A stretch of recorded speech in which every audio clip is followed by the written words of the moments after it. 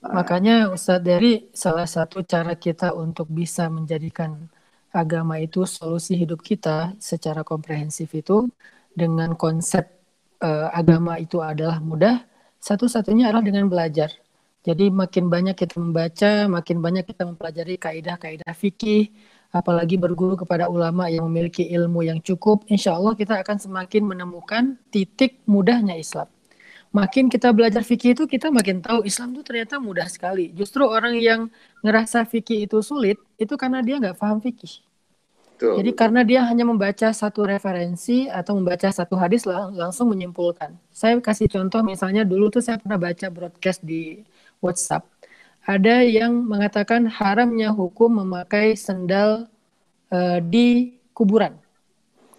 Dia membuat judul seperti itu sebelum dia menyampaikan dalil. Jadi dia udah menyimpulkan lewat judul. Haram hukum memakai sendal ke kuburan. Saya baca uh, tulisan dia karena broadcastnya masuk ke grup. Saya baca dia menyampaikan sebuah hadis bahwa satu hari ada seorang laki-laki masuk ke kuburan memakai sendal. Kemudian Nabi mengatakan janganlah kamu memakai itu di kuburan. Kemudian dia menyimpulkan dari hadis itu hadisnya hadis lain. Dia menyimpulkan dengan hadis itu bahwa memakai sendal di kuburan itu haram. Padahal ketika kita membaca pendapat para ulama tentang hukum memakai sendal ke kuburan, ternyata hadis tentang memakai sendal ke kuburan itu bukan hanya satu. Ada hadis yang lain, hadis yang terkenal sekali bahwa ketika seseorang dimasukkan ke dalam kubur setelah dia meninggal, maka saat keluarganya meninggalkan dia tujuh langkah sendal. Karena teks hadisnya na'al, bukan rijal. Jadi sendal bukan kaki. Walaupun terjemahan yang populer di kita itu tujuh langkah kaki. Tapi terjemahan eh, kalimat teks hadis aslinya tujuh langkah sendal. Ketika keluarganya meninggalkan dia tujuh langkah sendal, maka malaikat akan datang untuk bertanya kepada dia yang kita kenal dengan malaikat mungkar nakir. Nah, dalam dua hadis ini, para ulama mengatakan, loh kenapa Nabi mengatakan meninggalkan kuburan tujuh langkah sendal? Berarti boleh pakai sendal ke kuburan atau mengantarkan jenazah. Lantas apa hukum memakai sendal ke kuburan menurut dua hadis yang terkesan kontradiktif? Imam An-Nawawi kemudian menyimpulkan di dalam kitab Riyadus Solihinnya bahwa ternyata hukum memakai sendal itu tergantung jenis sendalnya. Hadis yang pertama yang dilarang oleh Nabi memakai sendal itu teks hadisnya sendalnya ber dengan memakai istilah sibetiyah. Sibetiyah itu artinya sendal bludru yang pada masa itu adalah sendal mewah yang dibeli hanya ada di uh, Syam, yaitu di Damaskus. Artinya hanya orang kaya yang punya sendal itu.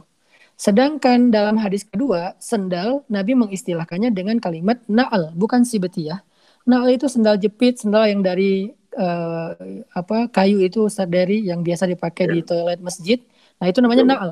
Sehingga ada dua istilah sendal ternyata dalam dua hadis yang berbeda. Sehingga kesimpulan para ulama yang dilarang itu bukan sendalnya tetapi bermewah-mewahannya.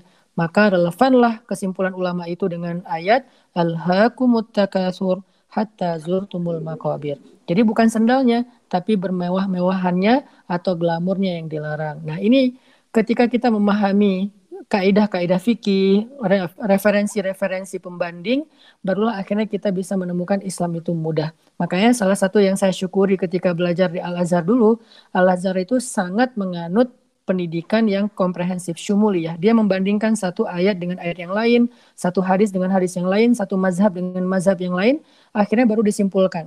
Nah, ini yang paling bahaya kalau kita membaca satu tulisan satu ayat, satu hadis, lalu kita simpulkan sendiri. Makanya kesannya agama itu susah, agama itu ribet.